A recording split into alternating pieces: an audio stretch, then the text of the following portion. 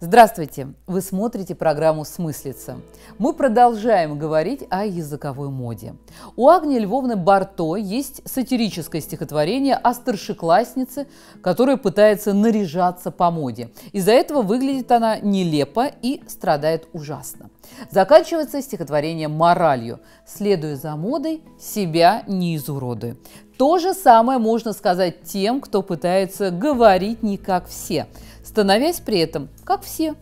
Следуя за языковой модой, необходимо понимать, что модные слова объединяют нашу речь. Сколько синонимов вытеснило слово «крутой». Крутой сериал, крутой менеджер, крутой отдых.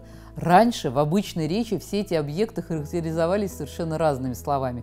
Интересный, успешный, комфортный.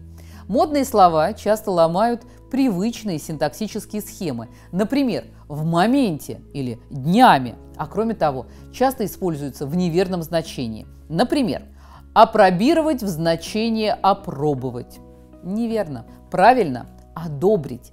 Можно даже составить рейтинг самых модных речевых ошибок. Проактивный в значении активный, а ведь на самом деле означает упреждающий, превентивный. Подскажите в значении скажите. Подскажите вашу фамилию. Неверно. На самом деле подсказать означает не громко сказать, как ответить. То есть подсказать, навести на мысль. Грамотному человеку модные слова-паразиты будут резать слух.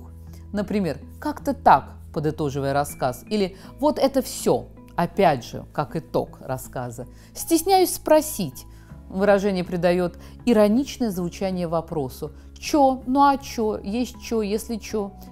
Мы и зашли, чё, типа, вроде, как бы, так сказать, да ладно.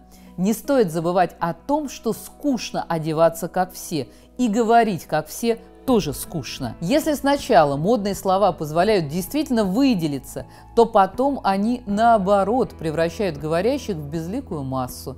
Помните об этом, и пусть наша речь будет безупречной. До встречи!